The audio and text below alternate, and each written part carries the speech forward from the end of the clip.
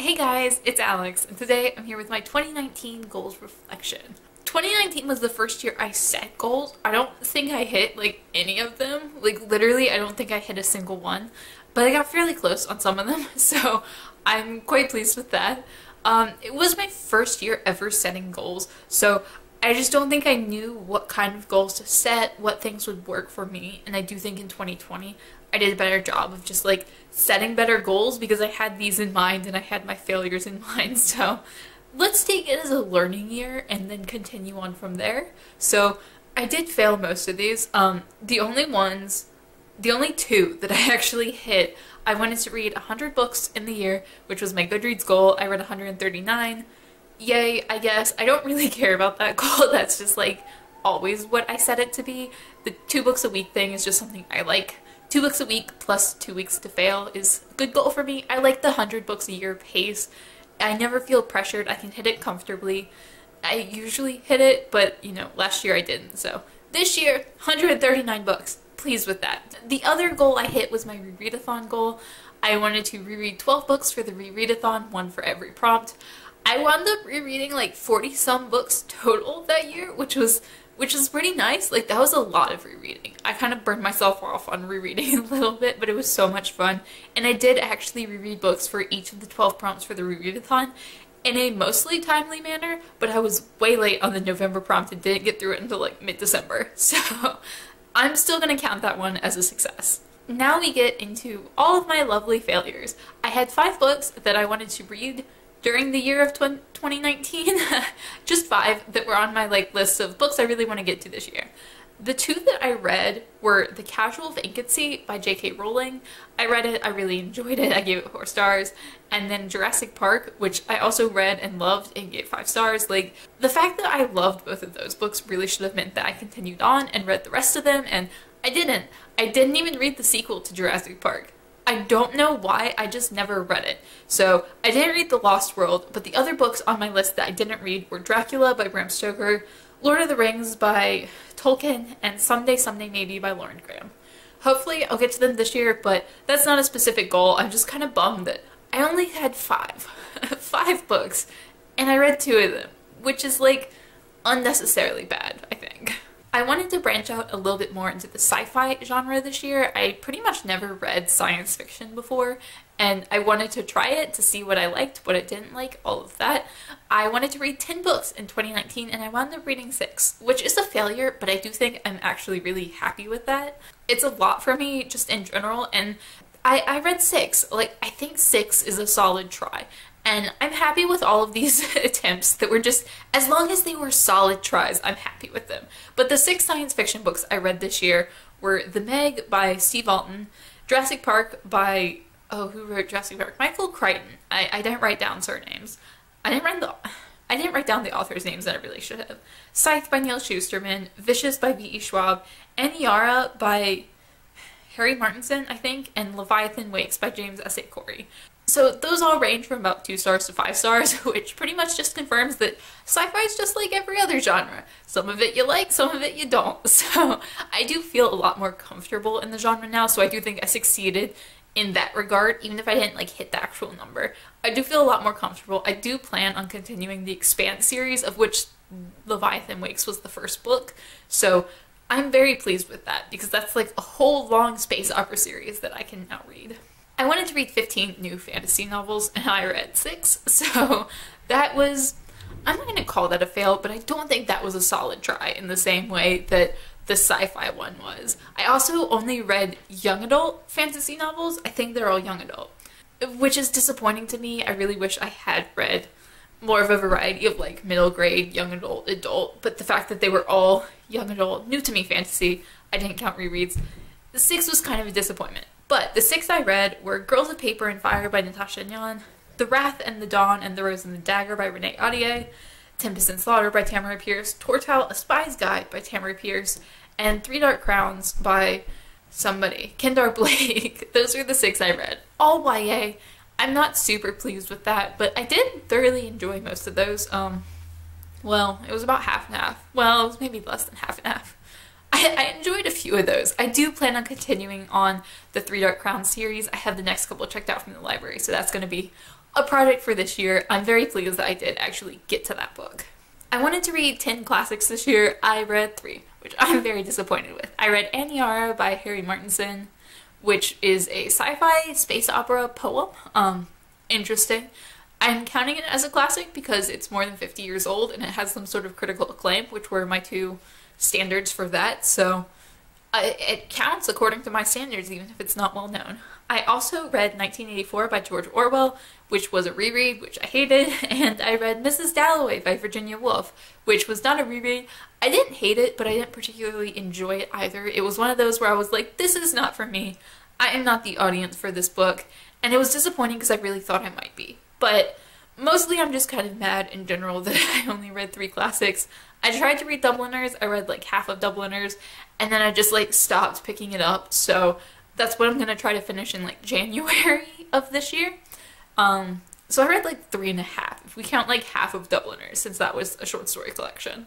I wanted to read three poetry collections or poems or any kind of poetry. I wanted to read three of them and I only read one, which was Aniara by Harry Martinson. Like, thank God I read that because that counted for like three of my challenges.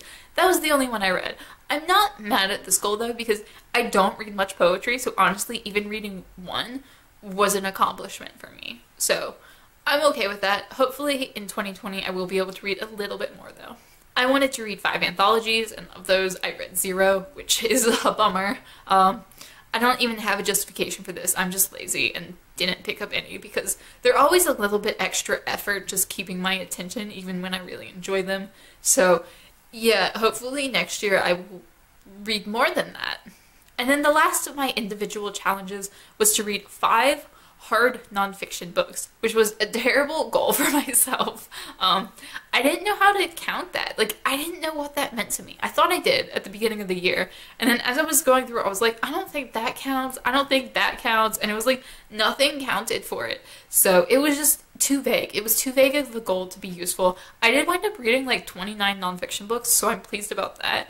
The four I read that I feel like would kind of count for this, I read Betrayal at Little Gibraltar by William Walker, which was a military history book about World War One. It was kind of interesting, also super not my thing, so I didn't retain a lot from it, or I retained some, but it was definitely like above my comprehension level. I also read The Radium Girls by Kate Moore, which was wonderful. Really, really loved that book. I read a bunch by Jon Krakauer, so I'm just counting him in general, and then I read a couple of Erik Larson's books, which again, just counting him in general. I also listened to two audiobooks by Bill Nye, who was Bill Nye the Science Guy, which kind of counts, kind of doesn't. I don't know. That was just a bad challenge, but I do feel like I was comfortable with the nonfiction that I read this year. I had an ARC pile that I wanted to get through that had eight books in it that ARC pile still has eight books in it. I didn't touch a single one of those. I did read and review a book that I received, but that was a new one that I received this year, so it didn't count towards that pile at all. So at least it didn't get bigger, but I am kind of bummed that I didn't read a single book from that stack, and that's something that I really, really need to get to soon. So for channel goals, I wanted to hit a thousand subscribers this year. Clearly, I did not do that. I'm hovering around the 750 right now kind of bummed that I didn't hit a thousand, but also like I knew I didn't actually have much control over that. It's fine, I'll live. I would like to hit a thousand this year. Like I didn't make that a specific goal, but it'd be nice to hit a thousand. I'm very happy to be at 750. I think that's kind of awesome, and I'm still like blown away by the fact that anyone watches me. So I'm not bummed about this goal, but like hopefully that'll be a 2020 thing. I also wanted to film a book review for every book I read with like few exceptions for like audiobooks and things that I just really didn't want to film a review for, and I think I did do that. The only books that I have left on like a stack, I didn't avoid anything just because I ran out of time to review it. I actually like sat down and reviewed everything. The only ones I haven't yet are books I read in December, which I'm okay with. I don't know what I'm going to do with that going forward because I do like reviewing every single book I read within reason. Like I don't do audiobooks and then there are some books that I just like don't have enough thoughts on for a review. But in general, I do prefer to review pretty much everything I read. Only when I'm reading like 139 books, that's 139 different reviews, which is an excessive amount of reviews. I have to film them, I have to edit them, I have to upload them, and people don't want to watch that many reviews. So I have to figure out what I'm going to do with this going forward. But for the time being, I'm probably just going to keep doing this. This is kind of just like par for the course for me. I like reviewing everything I read. It's just sometimes it's a lot. I also wanted to host a read along for one of my favorite books. Did not do that remotely, like didn't even start or try to do that. I just like chickened out every time I thought about it. Um, maybe I'll do it this year, but it's not a priority for me. Um, sometime I would like to host a read along. It's just that I don't know that I really have the subscriber base to do it, and I would have to like bully people into it. And most of the things I'd want to do it for are like backlist books that maybe a lot of people haven't heard of or are hard to acquire. So I don't know. For the time being, that's kind of on the back burner. I wanted to create fewer TBRs as well, and I actually found something that really worked for me here. I started doing them every month in my vlogs, and I would only include books that I had some sort of obligation to read that month. Like either they were due at the library, or I was buddy reading them, or reading them for a book club, or something along those lines. And because of that, I wasn't just including books like, oh, I want to read that book this month. It was like, I have to read this book for XYZ reasons this month. And then that gave me a lot of leeway to mood read. So I'd only have a couple of books on my TBR every month, and then I would mood read like a bunch more. And I think that really did help. I think that's why I went up like 40 books in my reading from the year before and it really did help me so I think I'm just going to continue doing that. I enjoy doing that. It doesn't make sense not to post a TBR at all when I do know like three or four things I'm going to be reading this month because it's like well I have my rereadathon book and like this buddy read and that book club so there's like three books right here that I know I'm going to read this month and it doesn't make sense not to film anything but I also don't want to just pick a bunch of books at random and be like, these looks good, let's read them, because I never did. So that works for me really well, and I'm very happy that I did find something there. And then finally, I wanted to participate in fewer readathons and then participate instead in more buddy reads and read alongs. So I think I did really good with this actually. I kind of stopped participating in readathons at all because I figured out that they're cool in theory, but they don't work for the way I read, which is like TBRs and stuff don't work for me. I'm a mood reader. I like to pick up things at random. Unless there's a very specific reason, I'm not doing that. So I did start doing buddy reads regularly. I buddy read a lot with Cozy Reader Kelly, a couple of times with Dane from Dane Reads, and Kylie A and Abby Mac Reads, and just like I had buddy reads scattered throughout the year, which was really nice. And I'm really glad I did that because buddy reading is like a super fun experience. And I didn't really participate in any read alongs, but I did have two book clubs that I participated in. I did the Literary Alliance book club on Facebook from about January or February through August. They picked a book every month and read the book in a Facebook chat and everybody just kind of like talked about it throughout the month, which was fun. I wound up leaving them though just because their tastes didn't really align with mine. Like, super fun book club. I'll link them down below if you're interested. Just like not really for me. So I, I left that, and then there was the crime scene read along that Joni Reads and Cammy's Corner were hosting, where they picked a true crime book and read it every other month and did a live show, which was so much fun. I think they stopped doing that though, so those both kind of died around like I quit the Literary Alliance in August, and the last one for the True Crime Book Club was in September, so those both died around then, and I'm kind of looking for like a new regular like monthly or bi-monthly book club that I can participate in.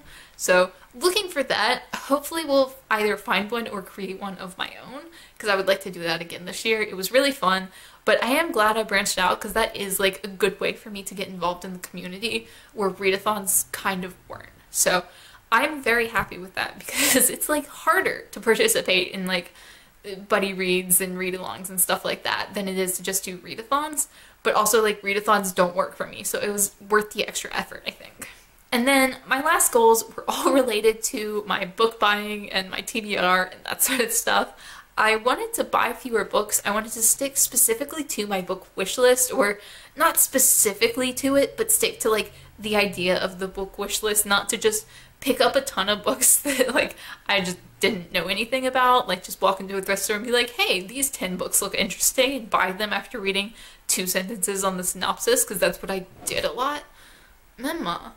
But um, I did stop doing that. I do have a wish list of like, not like on Amazon or anything.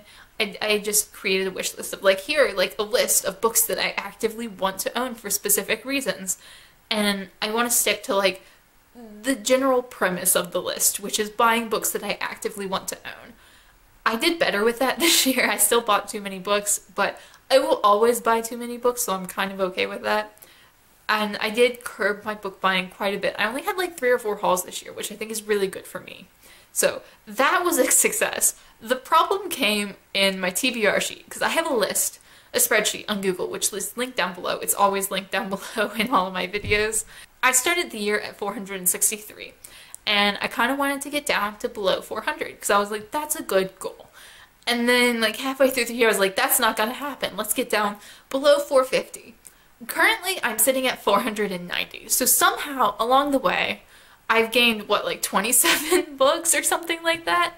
That's too much. That's unnecessary. Like, why did that happen? And I looked and I bought 48 books this year that I have yet to read. So books I bought and read are not included in that, and books that I bought that were rereads are not included in that. These are just books I bought, had never read, still have not read. 48 of them. That's a lot. Like, if I had not bought any unread books this year, or not just bought, but acquired in general, if I hadn't acquired any, that number would be like close to 400. I would be close to where I am. I would have been close to my goal. So I'm kind of mad that I bought so many. I'm definitely going to make a big push for that this year to get my goal down. I don't think I'll get it below 400. I don't think that's reasonable, what with me still checking out some books from the library and of course doing rereads. So we'll see how that works. If you ever want to buddy read anything with me, you can check that spreadsheet and be like, yo, let's buddy read this random thing from the spreadsheet. And I'll probably say yes. Because I do have almost 500 books on that spreadsheet. So definitely go check that out if you want to buddy read anything with me because there's a lot there. So I think in general, it was a learning year. Did not succeed on a lot of my goals. Happy with the sci-fi, happy with the poetry, happy with the rereadathon and the number of books I read and the buddy reading not a whole lot else. So hopefully my goals will go better in 2020 because I did create them with like more of a specific here's how my brain works and here's how I function as a reader. I had I kept that in mind. I knew how I worked better. So hopefully that'll go better. Let me know down below what goals you set, what goals you hit. If you didn't reach them like I did, you're definitely not alone. As always, thank you guys so much for watching and I will see y'all again soon.